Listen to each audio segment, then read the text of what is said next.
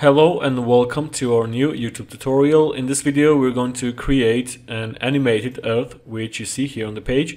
We'll build this project using pure HTML and CSS. As you can see we have here two different parts. On the left side we have the dark part of the earth and on the right side there is a light part of the earth. The earth itself is rotating according to its y-axis. Alright, so that's it about this project. Let's go ahead and get started. I've created a new folder on the desktop called Animated Earth, in which we have another folder for the images. Let's go ahead and open this folder in VS Code and then create our working files for HTML and for CSS. Okay, let's open the index.html file and create a basic HTML document. For that we have to place here an exclamation mark and then hit tab or enter. So here we go. First of all, I'm going to change the title. It's going to be animated earth. Then let's link the CSS file, open link tag and specify the name of the file. Alright, let's go ahead and run the project to the browser using live server and then place the editor and the browser side by side. So we are ready to start to write the code. At first I'm going to create the HTML markup. Let's open a div tag with the class wrapper. So inside the wrapper we will have two different elements. I mean the day part and the night part. So let's open div tag with the classes earth and day. Then duplicate this line of code and change the class name. We need night. Alright, so that's it about the HTML markup. Let's go ahead and start to write some CSS. First of all, I'm going to create some reset styles for every element. Let's go ahead and select the asterisk and get rid of the default margin and padding from every element. I'm going to set both properties to 0. Throughout this project, I'm going to use rem as the measurement unit. Right now, 1 rem equals 16 pixels and I want to make it equal to 10 pixels. For that, we have to decrease the font size of the HTML elements. Let's make it 62.5%. Alright, let's go ahead and customize the body elements. I'm going to define width and height. The width is going to be 100%. As for the height, I'm going to make it 100% of the viewport. And now it's time to take care of the wrapper. Let's go ahead and select this element and first of all define its width. I'm going to set it to 80 rem. I want the same height for the wrapper, I mean 80 rem. And for that we can use one of the CSS properties called aspect ratio. If we set it to 1, then it will mean that the height of the wrapper will be 80 rem. But if we change the width, then the height will be changed accordingly. Okay, next I'm going to set the background color. Let's use some temporary background. I'm going to use BBB and also make the element rounded using border radius 50%. Okay, after that I'm going to place the wrapper in the center perfectly and I'm going to do that using positions. We need position absolute. Then we have to define top and left properties. I'm going to set both positions to 50%. And then in order to place the element in the center perfectly, we need to use transform with translate function. And we have to pass here minus 50% for the x and y directions. Okay, so that's it regarding the wrapper. It's placed in the center. Now I'm going to take care of the earth. As you know, we have two different elements, I mean the day and the night parts. So let's select both elements using the common class name. First of all, I'm going to define the width. Let's make it 100%. As for the height, I'm going to use again the property called aspect ratio with the value 1. Then set the position to absolute and also make the element rounded using border radius 50%. So now both elements are placed on top of each other, I mean on that circle. And now we can define the backgrounds for both parts. Let's select the first one, day, and define background image. Let's define the path of the image. We have the folder called images and we have to select Earth Day JPG. So here we have the background image. This is the light part. Let's go ahead and do the same for the night part as well.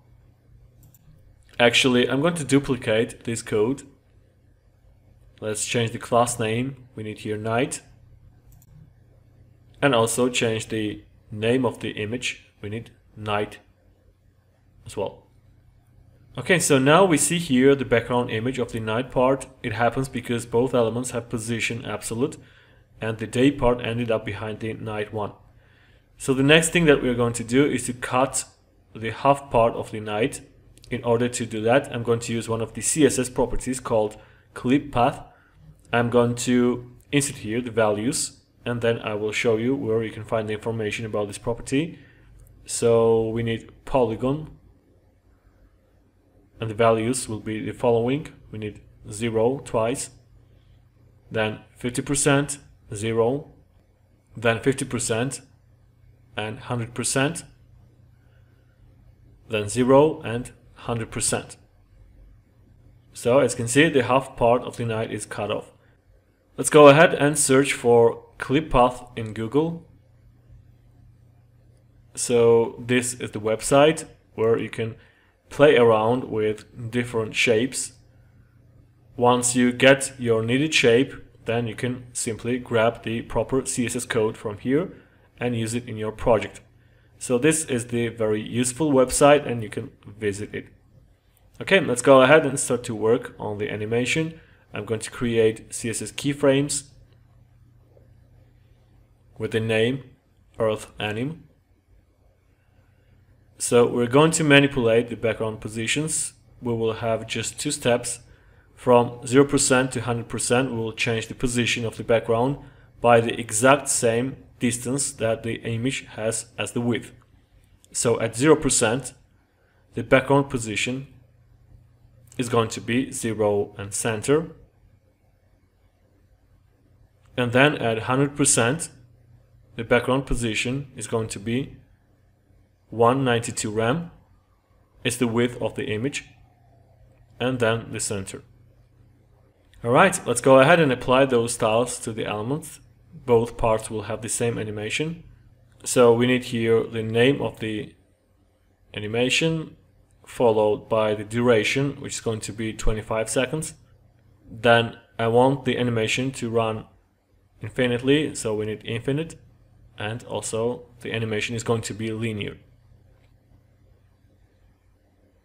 Okay, so as you can see the animation works perfectly and we have a nice day and night effect. Before we finish this video, I'm going to add some shadows to the earth. For that, I'm going to use before pseudo element. So let's select wrapper with before pseudo element.